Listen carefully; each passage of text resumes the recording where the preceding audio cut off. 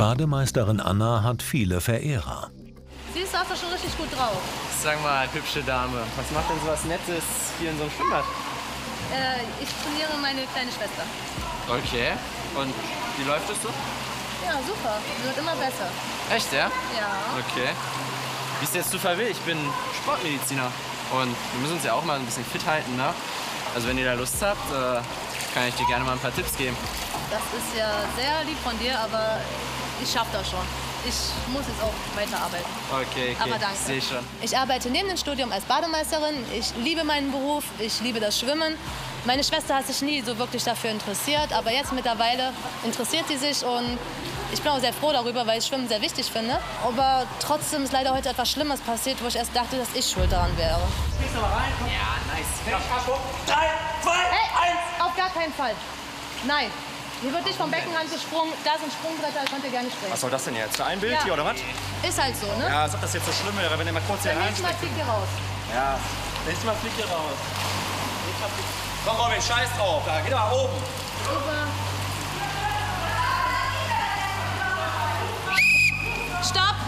Hier wird nicht rumgerannt. Wir sind hier in meinem Schwimmbad, oder? Und dann hier ist Rutschgefahr. Hier wird nicht rumgerannt. Entschuldigung. Beim nächsten Mal fliegt ihr raus. Aber wenn Sie schon mal gegenseitig, wann macht die Akribie eigentlich? Ich mache heute leider nicht mehr auf, da wir unterbesetzt sind. Aber falls ihr irgendwas wollt, kann ich gucken, ob ich das irgendwie noch regeln kann. Dankeschön. Tut mir leid. Hallo, Frau. Hallo. Hallo. Du sag mal was hier. Lena! Lena! Tu sie doch was mal. Hilf mir mal. Robin, Robin, Robin, soll ich euch, soll ich helfen? Soll ich irgendwas tun? Schatz. Komm, Robin. Schatz. Lena! Hey, hey, Lena! Lena! Ich hab sie so im Wasser aufgefunden. Lena! Alles gut? Wir müssen sie Nein, gar nichts ist gut. Wir müssen sie Nein, wir müssen, nicht, wir müssen eine stabile Seitenlage Einfach, machen. bin ich Arzt oder bist du Arzt? Aber trotzdem müssen wir noch stabile Seitenlage scheißegal, machen. was du sagst. Hab Nee, auf die gar keinen gemacht? Fall. Doch. Komm. Hol mal Hilfe jetzt. Komm. Was für ein Schock. Ich habe meine Schwester da einfach liegen gesehen im Wasser und ich wusste gar nicht, was los ist. Es hat mich einfach... Ich war auch abgelenkt von den Jugendlichen, aber trotzdem, was ist da bloß passiert? Wir müssen ja mal eine stabile Seitenlage bringen. Ich habe dir das doch eben gesagt, wir müssen stabile Seitenlage machen. Ja, komm. Ja. Lena, hey. Oh mein Gott, Lena. Annas 17-jährige Schwester ist immer noch bewusstlos, als Notfallsanitäter Nick Bachmann und sein Kollege eintreffen. Per Funk haben die beiden erfahren, dass sich Notärztin Birgit Maas verspäten wird, da sie auf dem Weg ins Schwimmbad selber in einen Unfall geraten ist. Komm schnell. Was passiert? Es nicht genau. Sie lag einfach bewusstlos im Schwimmbad, im Becken. Im Schwimmbad? Im Becken. Also ein Ertrinkungsunfall oder was? Ja, wir wissen es nicht Tag. genau. Schönen guten Tag, ich bin Arzt. Ja, klar. Hallo. Wir haben hier eine Patientin, ist latent eingetrübt. Äh, Puls ist leicht hoch, leicht Lachygrad. Ja. Und äh, ich denke mal, die Schwester meinte gerade, sie kann nicht so gut schwimmen, wird wahrscheinlich eine Panikattacke gehabt haben. Krampel. Ich habe eine Atmung, ich habe einen Puls. Ja, der wird schon wenn nicht so schlimm gehen, ne? Ich Wir mein, machen erstmal unser Schema. Ja, gehen Sie einfach einmal zur ich, hol- ich Seite. hole mal mein Stethoskop. Wir wurden äh, von der Schwester der verunfallten Person in Empfang genommen, ähm, die uns auch äh, kurz und knapp ein paar Sachen erzählt hat, wurde aber eigentlich dann relativ zügig von einem jungen Mann unterbrochen, der sich als Arzt vorgestellt hat und äh, mir dann ja quasi so eine ja, halbe Übergabe dort machen wollte. Ähm, aber nichtsdestotrotz verlasse ich mich auf solche Aussagen nicht, mache mir mein eigenes Bild und wir gehen halt auch nach einem vernünftigen Schema vor, um einfach auch nichts zu übersehen und nicht zu vergessen. Wie heißt sie? Lena, Lena, Lena, mach die Augen auf. nicht. Ja komm, lass uns einen Zielfleck Kann einmal machen. abhorchen? Sie, gehen, einmal, gehen Sie einmal zur Seite, bitte. Oh, ich muss einmal abhorchen. Hallo, gehen Sie einmal zur Seite, lassen Sie unsere Maßnahmen machen. Ja? Die richtigen Ärzte sind jetzt schon da. Das sind doch keine richtigen Ärzte, ich bin richtiger Arzt. Ja, genau, mit der stabilen Seitenlage. Ich übernehme den Korb, wir drehen Sie. Sagen Sie mal, was wollen Sie jetzt gerade von mir? Hören Sie, ich bin Arzt. Ja, aber wir machen hier gerade jetzt erstmal unsere Maßnahmen, ja? Was mich natürlich äh, schon enorm verärgert hat, ist die Aussage, die er getroffen hat, wir wären ja nur Sanitäter, er wäre der Arzt. Äh, kommt bei manchen immer wieder vor, dass sie da etwas überheblich reagieren. Ähm, die vergessen halt, dass wir auch eine langjährige Ausbildung genossen haben, äh, sehr viel Berufserfahrung haben und wahrscheinlich mehr Notfälle im Leben gesehen haben, wie sie überhaupt sehen werden. Hat sie irgendwelche Vorerkrankungen? Nee, gar nichts, überhaupt Kerngesund. nichts. Nein, die ist kerngesund. mir geht's super gut. Ist ja eben noch die ganze Zeit hin und her geschwommen. Jetzt Und sie hat, hat keiner was gesehen, oder was? Nein, es hat wirklich gar keiner was gesehen. Gut, war sie unter Wasser? Ja, mit dem Kopf. Mit dem Kopf unter Wasser. Aber vielleicht noch ein paar Sekunden oder so. Da für uns die Sache vollkommen unklar war, was hier passiert ist, haben wir der Dame jetzt erstmal einen Stiffneck angelegt, um halt da weitere Verletzungen auszuschließen. Die Werte, die wir erhoben haben, waren erstmal nicht besorgniserregend. Ähm, sie war von der Sauerstoffsättigung etwas schlechter, was äh, bei so einem Notfall nicht ungewöhnlich in diesem Fall war. Ähm, sie war ein bisschen flott unterwegs von der Herzfrequenz, was mich jetzt auch gerade nicht so richtig gestört hat. Was natürlich absolut schlecht und in dem Fall für uns gerade auch nicht so toll war, ist, dass sie überhaupt nicht ansprechbar war. Das wird normal sein, habe ich auch schon abgetastet. Ganz ehrlich, jetzt mehr. Gehen Sie mal bitte auf die Seite und lassen Sie uns die Arbeit machen, ja? Mann, ey, was ein Typ. Und wie sieht's aus? Lena. Hallo. Gib mir mal eine Lena. Pupillenleuchte, bitte. Mach die kann ich Augen da auf. Sättigung 91, Tachykard. Lena, ich mach mal die Augen auf. Werd mal hell. leise. Pupillen reagieren.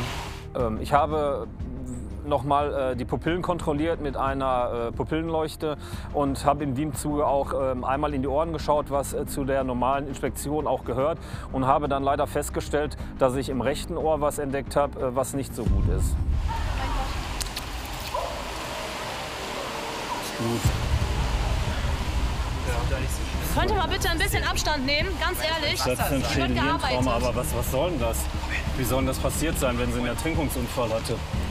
Das kann nicht sein. Ich war natürlich ähm, vollkommen irritiert, ähm, weil ich mir überhaupt nicht erklären konnte, wie denn bei einem Ertrinkungsunfall äh, es zu so einer Verletzung kommen kann. Äh, weil Blut im Ohr ist immer eine schwerwiegende Sache für uns erstmal. Und äh, da habe ich dann direkt mal geschaut, da gibt es einen Test. Wir nehmen einen Tupfer und schauen, ähm, um was es sich da handelt. Äh, den nennt man ganz banal den Spiegelei-Test. Und äh, da muss ich ganz klar sagen, der war leider positiv. Und das ist erstmal ein sehr schlechtes Zeichen. 52.